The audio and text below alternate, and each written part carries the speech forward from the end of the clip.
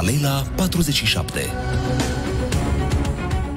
Republica Moldova pe harta lumii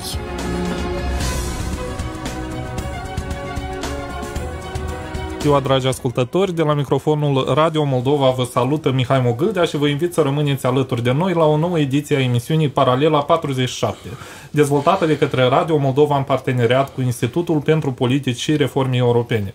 Discutăm astăzi despre securitatea energetică a Republicii Moldova și despre discuțiile în formatul 1 plus 1 și gestionarea crizei energetice actuale uh, în contextul uh, de securitate Uh, din Republica Moldova. În platoul Radio Moldova se află Constantin Borosan, secretar de stat în domeniul energeticii în cadrul Ministerului Economiei și Infrastructurii și Victoria Olari, coordonatoare programe în cadrul Institutului pentru Politici și Inițiative Strategice.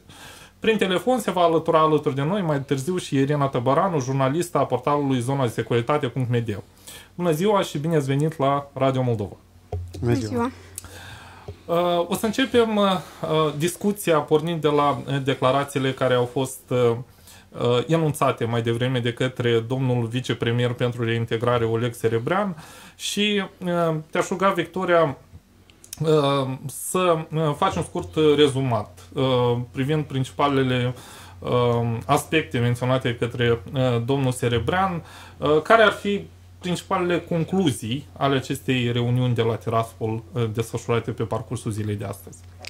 Uh, bine, prim, principala concluzie a făcut-o chiar domnul Serebreană, care a spus că rezultatele acestei întâlniri sunt limitate și nu sunt nu au, nu au un rezultat palpabil, dar în același timp a, a reușit să demonstreze care sunt um, de la, de la ce pornim noi în aceste, uh, în aceste negocieri, noi vedem că regimul de la Tiraspol uh, exploatează abil uh, vulnerabilitățile Republicii Moldova, malului drept al Republicii Moldova și nu evită să înainteze condiționalități pe de o parte și în același timp să se facă că plouă și că nu au, au nicio atribuție în această uh, criză energetică și în acest șantaj energetic, uh, pe de o parte, din aceeași pe altă parte, vedem că autoritățile noastre au o abordare mai echilibrată, uh, încă evită să pună presiuni suplimentare pe autoritățile uh, din stânga Nistrului, așa numitele autorități din stânga Nistrului, cu toate că uh, consider că deja ar fi timpul să, să, să începem și noi să fim un pic mai,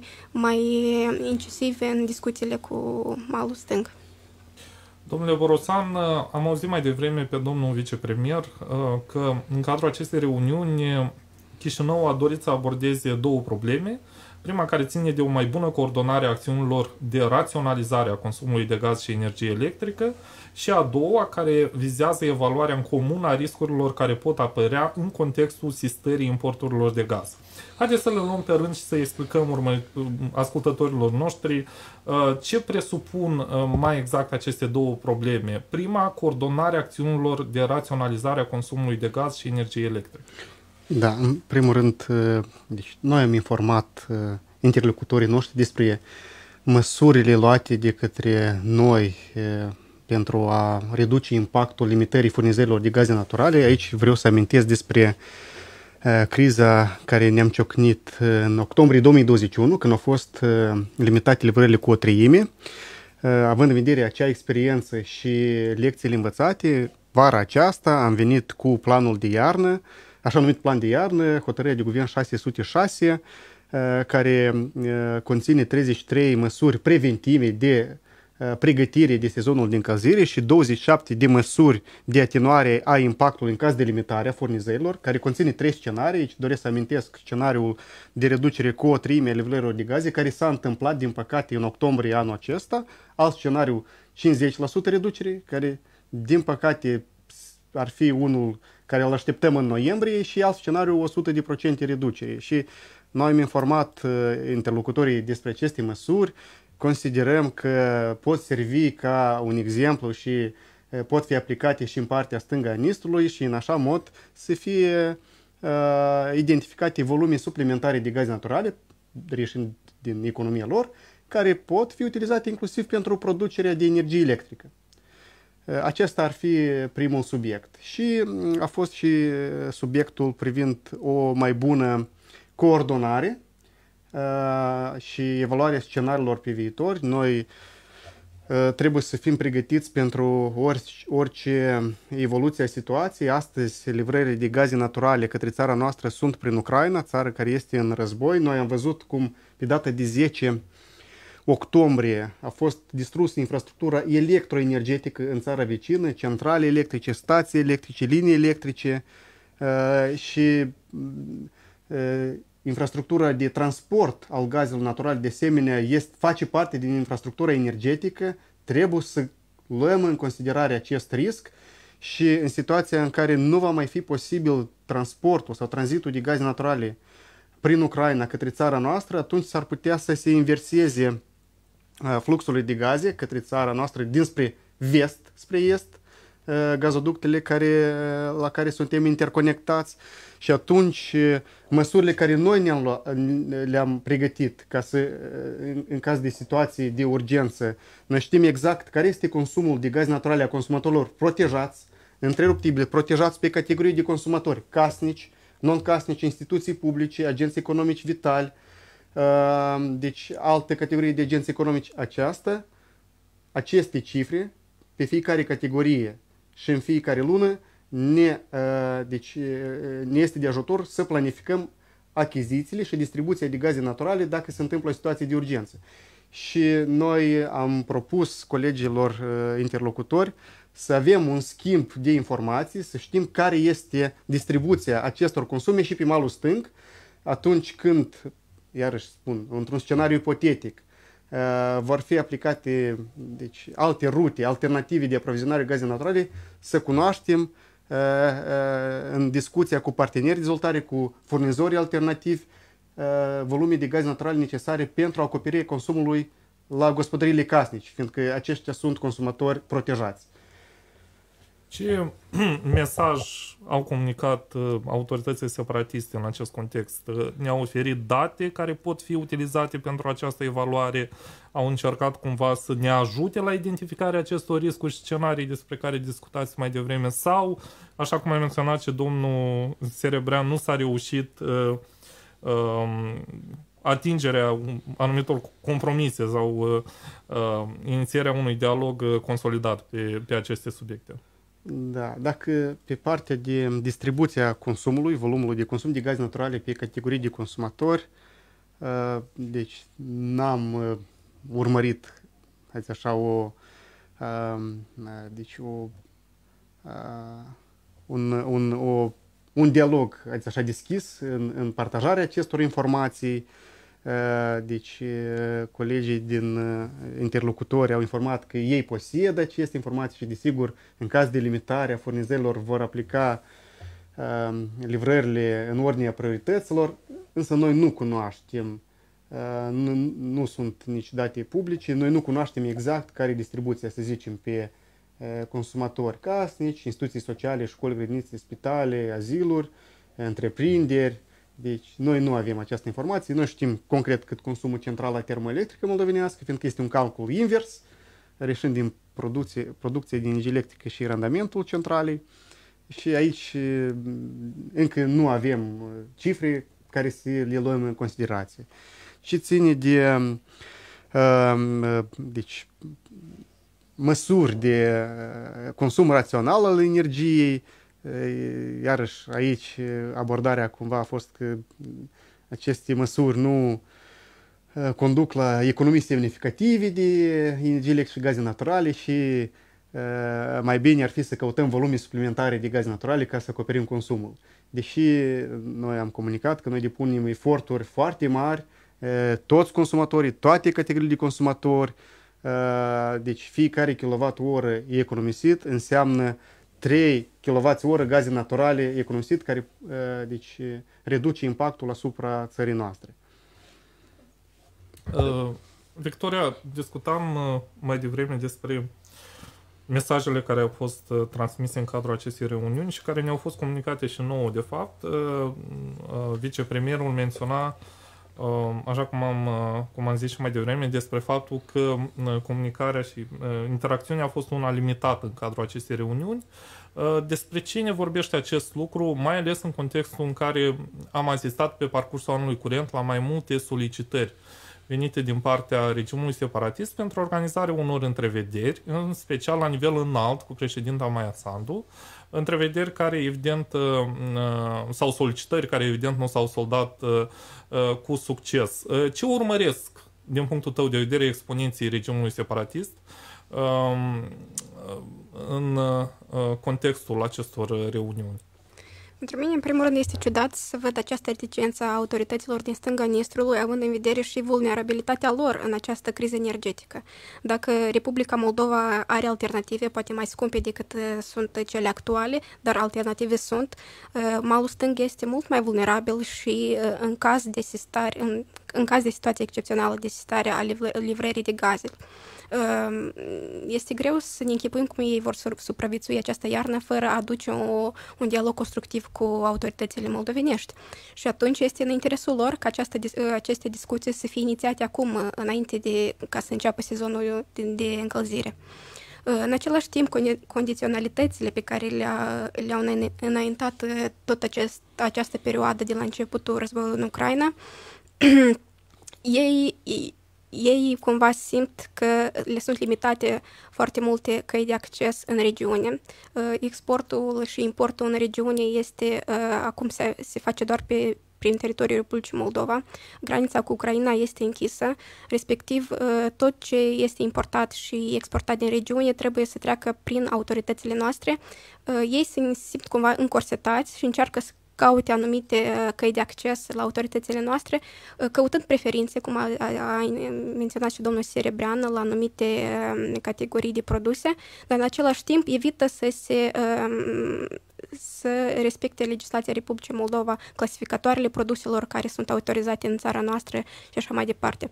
Uh, probabil ei uh, încearcă să, să arate că sunt băieții tari, dar în același timp uh, înțeleg că situația lor este mult mai, mai slabă și mai vulnerabilă decât era acum un an.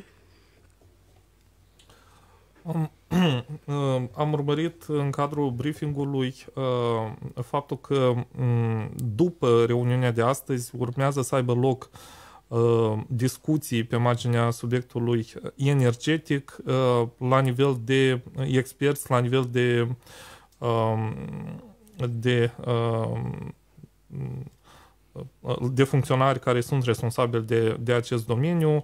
Uh, domnule Borosan, vă rog să ne spuneți mai multe pe marginea acestui subiect, să înțelegem că uh, va fi, vor fi reanimate discuțiile în, într-un grup de lucru sectorial sau care va fi formatul de interacțiune în perioada următoare, pentru că dialogul inițiat astăzi probabil trebuie să fie uh, continuat pentru a produce rezultate palpabile pentru cetățenii de pe ambele maluri. Da, urmează să fie uh, stabilită exact uh, deci, întâlnirea. Asta trebuie să se întâmple până la 1 noiembrie. Practic, 31 uh, octombrie este luni, cel târziu luni, pe un aspect tehnic și noi vorbim despre modul de repartizare a volumelor de gaze naturale între două maluri ale Nistrului, fiindcă Vedeți astăzi cum se întâmplă. Iată, în octombrie au fost reduse livrările la 5,7 milioane metri cubi pe zi. La moment, acest volum 1,7 îl consumă partea dreaptă a râului Nistru. Este un deficit pentru noi față de volumele contractate de circa 30-35%. Dar datorită măsurilor care le-am luat, noi ne încadrăm în acest volum care există. Eh, și este volumul pe malul stâng de circa 4 milioane eh, și unde fără niciun efort eh, așa semnificativ este așa deci practic nu, nu este noi spunem că suntem în criză energetică, dar cumva proporțiile și învergura sau impactul este diferit. Fiindcă și, și, și în noiembrie, iarăși spun, fiindcă noi urmărim datele publice, informații la care avem acces, rezervările de capacitate pentru luna noiembrie, iarăși nu au fost rezervate volume suplimentare a fi transportate în luna noiembrie, a treia luni din uh, luna octombrie. Uh, de ce ne așteptăm că va fi același volum livrat de 5,7. În acest caz, uh, deci dacă proporția de distribuție este 1,7 malul drept și 4 malul stâng, pentru noi, pentru malul drept, haideți să spun așa, deficitul ar fi de două treimi, circa 65%, Iarăși, pentru malul stâng ar fi mai puțin de o treime. Și atunci noi spunem că nu este echitabil o așa abordare. Contractul este între Moldova Gaz și Gazprom. Acest 5 întreg 7 față de volumul întreg pe întreaga țară reprezintă doar circa 50, 51% din volumul necesar de gaz naturale pentru a acoperi consumul pe ambele maluri, respectiv considerăm este, este echitabil ca distribuția volumelor să fie în aceeași proporție. Uh, deci și aceasta ar însemna, în cazul uh, uh, malului drept, un volum de gaze naturale de circa 75 de milioane metri cubi în luna, în luna noiembrie și pe malul stâng circa 95-96 milioane metri cubi. Și în acest caz sunt evidente luarea anumitor măsuri de reducere a consumului, inclusiv și pe malul stâng. Fiindcă, iarăși spun, această deci, criză ne afectează pe noi, pe toți, și trebuie să găsim soluții împreună. Cum să depășim această situație complicată. La data de 24 octombrie, regimul de la Tiraspol a redus substanțial livrările de energie electrică. Ei anunțaseră, de fapt, o reducere de la 70 la 27% către malul drept al Nestrului în luna octombrie și pentru luna noiembrie o reducere până la 23% din necesarul de consum.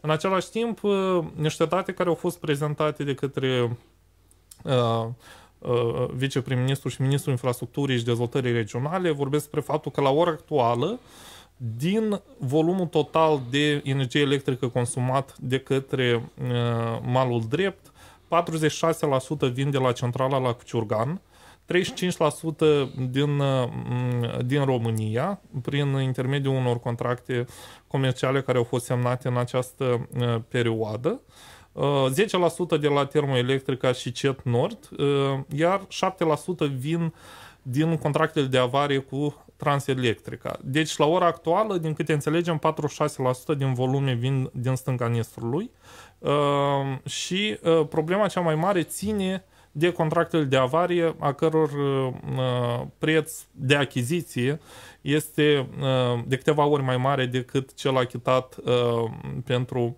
energie electrică adusă de la centrala la Ciurgan. Uh, vreau să ne oprim un pic asupra acestor proporții, pentru că ele sunt importante ca să înțelegem cât de mare este problema uh, consumului rațional și mai uh, și temperat cumva de energie electrică în, în și a, și a Uh, economiilor de energie electrică în perioada actuală și o să vă rog să ne explicați uh, uh, care este uh, problema cea mai importantă când discutăm despre uh, aceste date și anume uh, în termeni financiari ce, presupun, ce presupune actuala criză uh, pentru, uh, pentru uh, consumatorii finali. Uh, și mai ales pentru potențiale creștere a tarifului la energie electrică care, despre care se discută în prezent. Da, deci proporțiile sunt așa. Uh, deci, într-adevăr, a fost anunțat în, pe 24 octombrie, cred că, sau puțin timp mai, mai înainte, dar începând cu 24 octombrie, că livrările de energie electrică vor fi diminuate.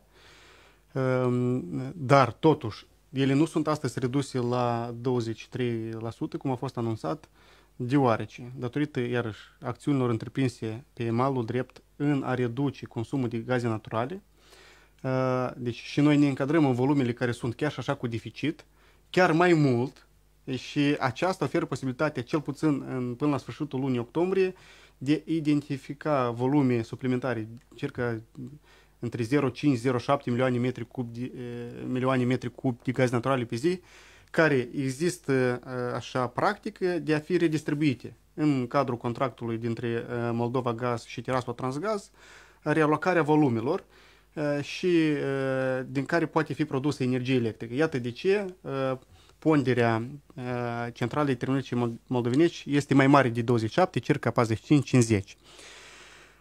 Uh, legat de sursele de acoperire a consumului. Uh, deci, într-adevăr, există uh, cantități sau noi consumăm cantități care nu sunt acoperite comercial. Cam 14-16 ore pe zi noi consumăm energie în diferit proporții între, haideți așa, 50 MW și 150 MW în anumite ore, orele de vârf, care nu sunt contractate, nu, nu, sunt, nu există contract pentru ele și atunci pentru a menține sistemul energetic în echilibru, fiindcă așa este sistemul electroenergetic, întotdeauna cât se consumă trebuie să fie egal cu cât se produce. Și atunci, pentru a menține stabilitatea sistemului energetic, există așa practic între operatorii de transport, în cazul țării noastre asta este Mold Electrica, cu operatorii din țările vicine, Ucraenergo în Ucraina, Transelectrica în România, de a uh, furniza energie de urgență, de avarii, pentru a menține stabilitatea sistemului energetic. Din motive foarte clare, de pe 10 octombrie Ucraina nu mai poate livra energie de avarie, fiindcă este distrusă circa 30-40% din infrastructura energetică, iar și din datele care noi avem acces. Deci România deci, oferă această posibilitate, însă nu este o soluție, haideți așa, durabilă pe termen lung, este o situație excepțională.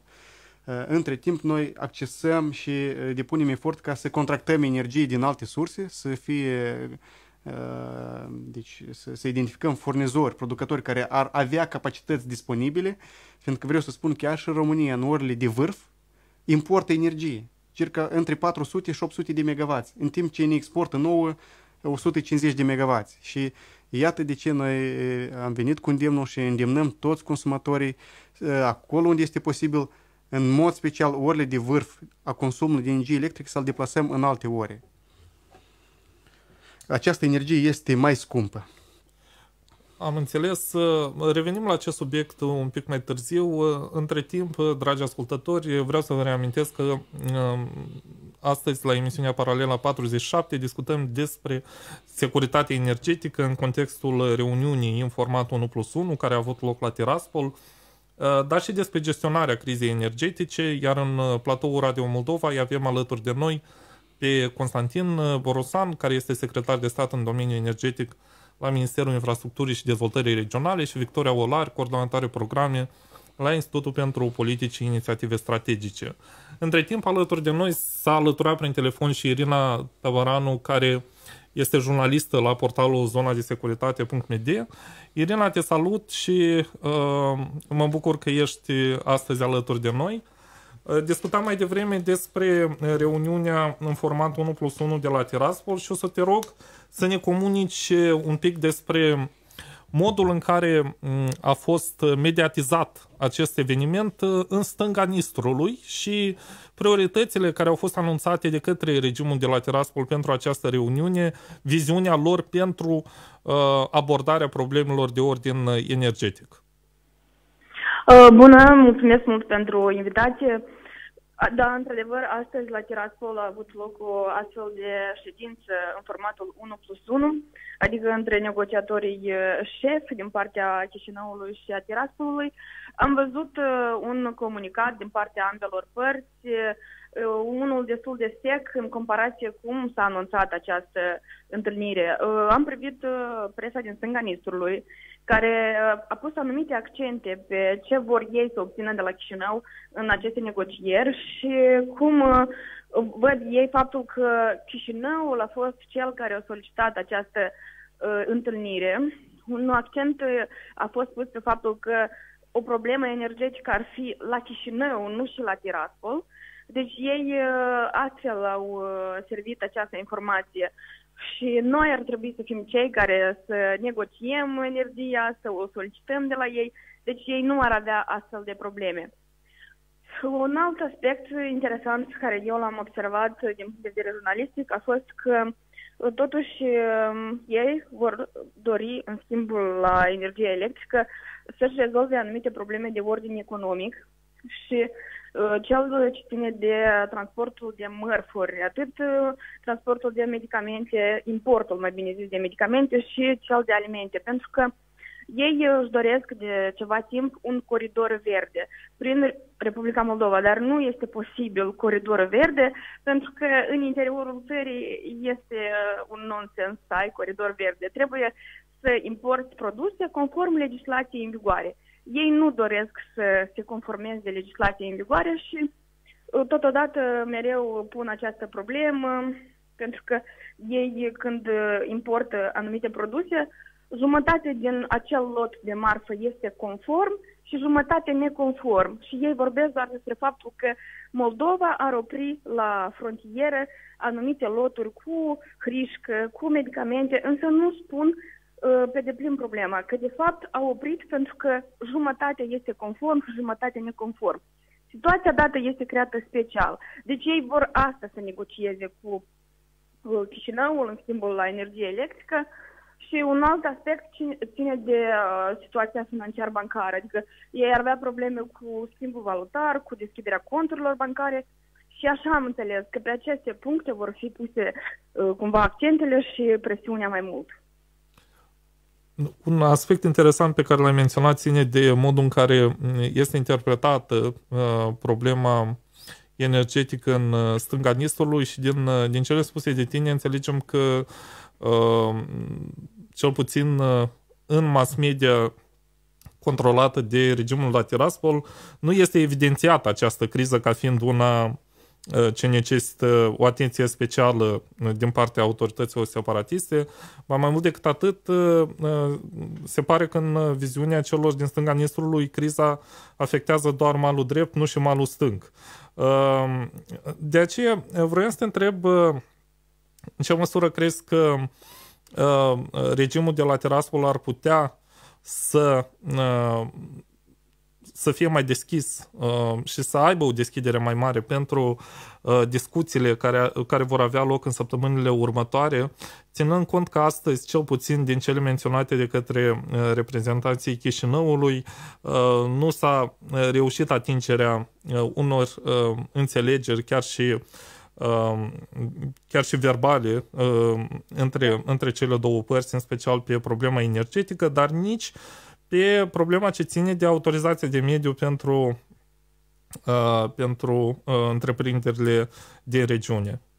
Eu cred că cu toții așteaptă un răspuns de la Gazprom cât vor livra în luna noiembrie. Am văzut o ultimă uh, postare pe Telegram postată de Vadim Cepan, șeful Moldova Gaz, care spunea că volumul va fi la fel ca cel din octombrie. Însă, în noiembrie, noi avem nevoie de mai multe resurse, dat fiind faptul că se va deschide sezonul de încălzire de iarnă, adică nu, deci volumul care este pentru octombrie nu este suficient uh, nu pentru noiembrie, pentru că nici pentru octombrie nu era suficient. Deci um, asta probabil se așteaptă, să se știe concret cât, care vor fi volumele livrate din, uh, de la Gazprom și um, după asta vor fi, eu cred că, niște negocieri mai uh, cumva pe anumite puncte concrete. Și, cum spuneam, în stânga Nistrului uh, nu se vorbește despre faptul că Gazprom e cel care nu a oferit uh, volumele necesare. Se vorbește despre Moldova Gaz, că nu ar oferi celor din stânga volume necesare pentru producerea energiei electrice. Deci cam în această formulă este prezentată la Tiraspol uh, situația și noi am fost uh, în această săptămână în catele din zona de securitate, mai uh, concret în Colercani și se vedea foarte bine cum este cumva criza energetică în stânga Nistră, pentru că toate luminițele ardeau, totul era în funcțiune și ține de iluminat atât stradal cât și a locuințelor, deci acolo o economie la nivel de societate nu, este, nu se face. Mulțumesc foarte mult, Irina, pentru intervenție. Stimați ascultători, noi continuăm discuțiile în platoul uh, Radio Moldova și, într-adevăr, o știre de ultim, uh, ultim moment anunțată de către uh, Vadim Ceban președintele Moldova Gaz vorbește despre faptul că volumul de gaze pentru luna noiembrie va fi în conformitate cu cu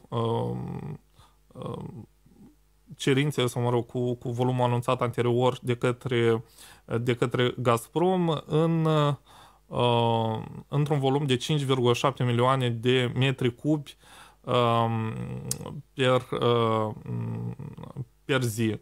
În același timp, se vorbește despre faptul că costul um, acestor, acestui volum va fi de 821 de dolari uh, pentru uh, mia, mia de metri cubi. Uh, domnule Vorosan, uh, o să ne oprim un pic la acest aspect pentru că este unul de, uh, de actualitate și de importanță, cred eu, pentru discuția de astăzi. Deci, uh, după această, din, din această declarație, înțelegem că uh, cel puțin pe, uh, pentru luna noiembrie um, uh, uh, amploarea uh, crizei despre, despre care discutam și a problemei privind uh, transportul de, de gaze naturale pentru Republica Moldova uh, va fi una cel puțin mai predictibilă decât uh, ne așteptam noi. Uh, totuși, în ce măsură aceste cifre care au fost anunțate pot acoperi necesarul de uh, gaze naturale pentru ambele maluri ale Nistrului și care ar fi Uh, potențialele probleme și scenarii pentru luna noiembrie anului curent. Da, deci informația aceasta noi am cunoscut-o mai înainte, încă o dată spun, în fiecare a treia zi de luni a lunii au loc rezervări de capacitate suplimentară lunară.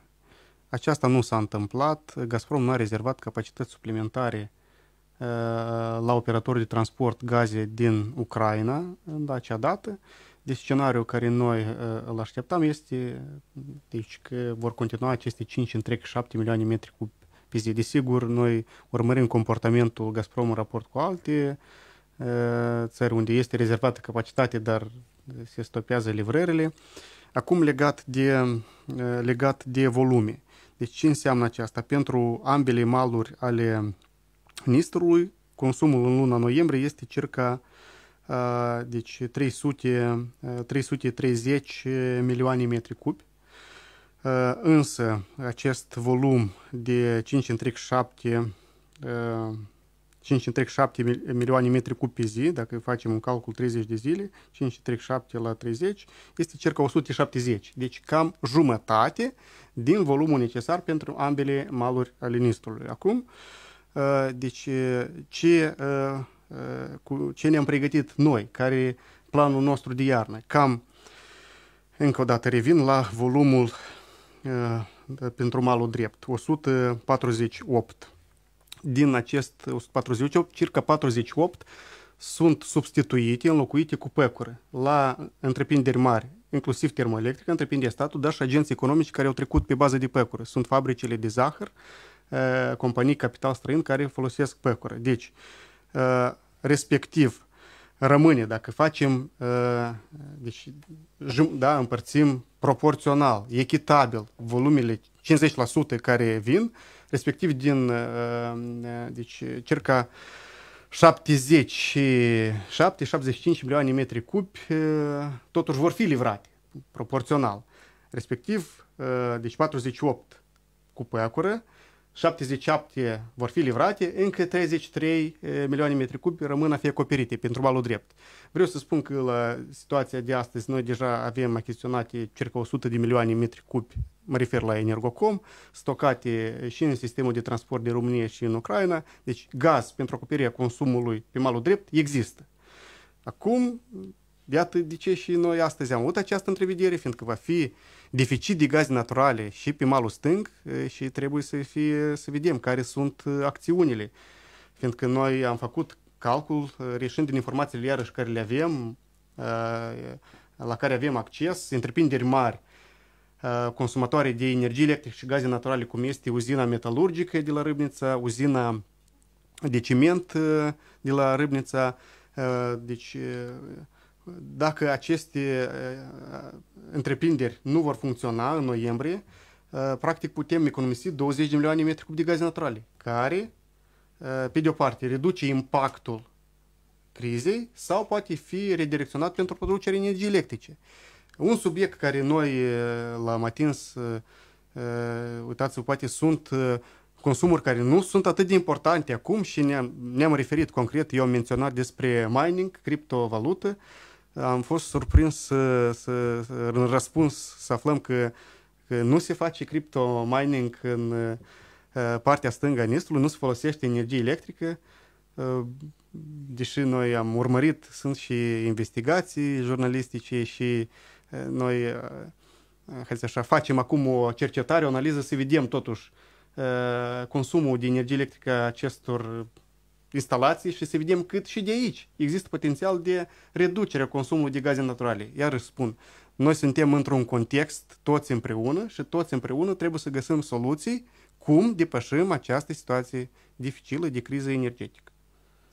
Da, uh, sunt uh, foarte interesante aceste detalii uh, de la discuțiile de astăzi și, într-adevăr, ne ajută să înțelegem mai bine amploarea problemei, pentru că, uh, din păcate, uh, mesajele care ajung din uh, stânga Nistrului și care sunt uh, preluate și mediatizate în, uh, în dreapta Nistrului, de obicei uh, acoperă doar anumite elemente ale, uh, ale uh, problemelor cu care se confruntă regiunea și în mare parte doar mesajele care sunt transmise de autoritățile separatiste, iar dincolo de aceste mesaje, într-adevăr, sunt multe uh, elemente care deseori uh, ne scapă din flux, fluxul de actualități.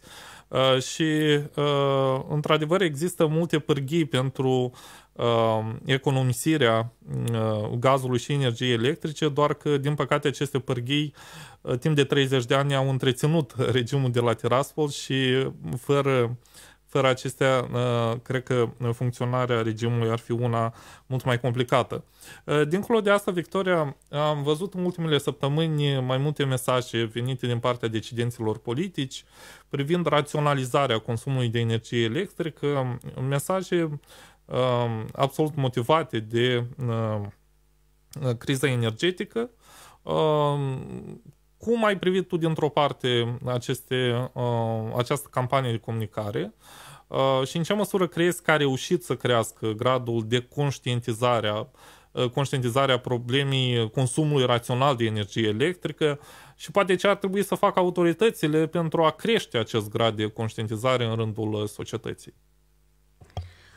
Rezultatul acestei campanii a fost anunțat, îmi pare, ieri de domnul Spânu, în care a spus că s-a redus în medie cu 70% consumul de energie, în mod special în orele de vârf. Uh, autoritățile fac uh, tot ce le stă în putere, cu toate că eu cred că ar putea face și mai mult să implice și uh, alte persoane în această campanie de comunicare, cum ar fi influencerii, oamenii de cultură, care ar putea comunica cu oamenii într-o manieră mult mai um, lejeră, în care să nu-i, să nu-i, să nu-i um, intimideze. În același timp, trebuie să înțelegem că se duce și un război informațional în acest sens. Această campanie este umbrită de discursul politic pe care îl utilizează mulți actori politici pentru a submina autoritate, autoritățile statului și da, lupta se duce din, din ambele părți, din extern și din interiorul țării. Este foarte important ca cetățenii să conștientizeze acest, acest lucru, pentru că raționalizarea consumului de energie nu doar este în interesul țării, dar este și în interesul buzunarului fiecărui consumator de energie și totodată este în interesul stabilității statului per se. Domnule Barusan, uh, aș dori să uh, abordăm un pic și uh, problema sau, mă rog, o problemă de actualitate ce ține de semnarea contractului între Energocom și Bulgar Transgaz, operatorul de transport de gaze naturale din Bulgaria. Ieri am asistat în cadrul întrevederii președinților Bulgariei și a Republicii Moldova la semnarea acestui contract. Ce presupune mai exact? Această înțelegere și cum ne poate ajuta să depășim problemele curente legate de aprovizionarea mm, cu volum necesar de gaze naturale. Da, deci întreprinderea statului Energocom este furnizor astăzi de gaze naturale, de energie electrică, este furnizor de ultimă opțiune în cazul în care se întrerup livrările. Energocom este acea companie care va asigura securitatea energetică a țării, va suplini necesarul de consum.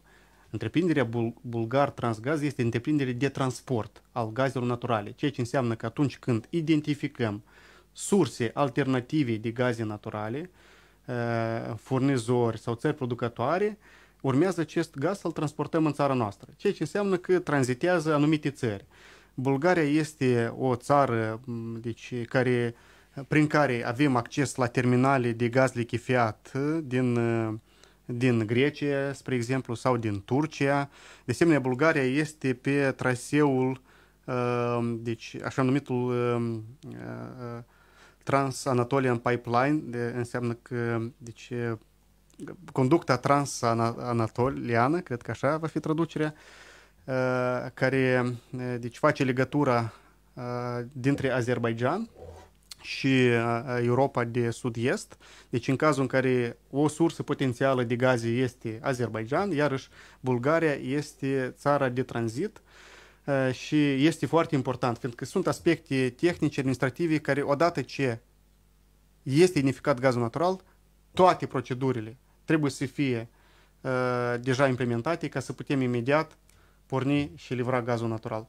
Acest contract ne oferă acces la surse alternative de gaze naturale, reprezintă o rută alternativă de livrare a gazelor naturale. Tocmai am spus mai sus că astăzi livrarea este prin tranzit în Ucraina, este un risc, iată de ce trebuie să securizăm și alte rute sigure pe unde putem aduce gazele naturale în caz de anumite situații excepționale. Pentru că suntem la final de emisiune, aș dori să abordăm un pic și mm, discuțiile din ultimele zile pe marginea riscului unor deconectări temporare de energie electrică. Cât de mare este acest uh, risc la ora actuală și cum putem gestiona situația curentă pentru că acest lucru să nu se producă, uh, cel puțin uh, la o scară foarte largă? Într-adevăr, una din măsurile de gestionare a crizei este reducerea consumului, fiindcă atunci când este deficit înseamnă că nu sunt surse de acoperire, fiindcă, încă o dată, fac referință la contractul de avarie. Ce înseamnă contract de avarie? Înseamnă că operatorul de transport a unei țări vicine, în cazul dat România, atunci când livrează această energie de avarie, trebuie să aibă surse disponibile ca să livreze. Înseamnă că este o centrală care nu funcționează la momentul dat la capacitate de plină, dispatcherul național de comandă pentru așa o capacitate să fie crescută de producție ca să acopere consumul.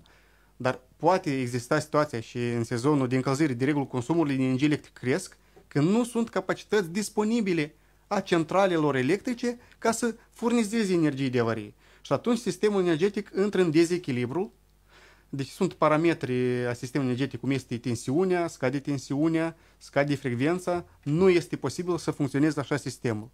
Și atunci, o măsură tehnică este reducerea consumului, deconectarea de la stația electrice a consumului. Ca să evităm aceasta, este foarte important și încă o dată fac apel la toți consumatorii, anume orele de vârf, este 3 ore dimineața, 3 ore seara, unde este posibil să deplasăm acest consum, fie mai dimineața, fie mai târziu seara. Aceasta uh, ne va permite să fim uh, siguri că vom avea energie.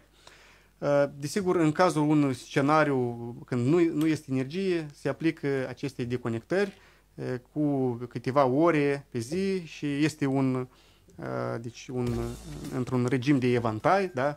anumiți consumatori, anumit interval de timp, alți consumatori alt interval de timp, dar vreau să spun că noi facem tot posibilul ca să nu recurgem la acest scenariu și să asigurăm toți consumatorii cu energie. Sperăm ca situația să rămână una stabilă și consumatorii noștri să aibă acces la uh, resursele necesare de energie electrică. Dragi ascultători, vă reamintesc că am discutat astăzi despre securitatea energetică a Republicii Moldova în contextul reuniunii în formatul 1 plus 1 de la Tiraspol. Vă invit să ne ascultați în fiecare vineri la ora 17 și 10 minute în emisie directă la Radio Moldova. Pe curând! Aici Chișinău, Radio Moldova.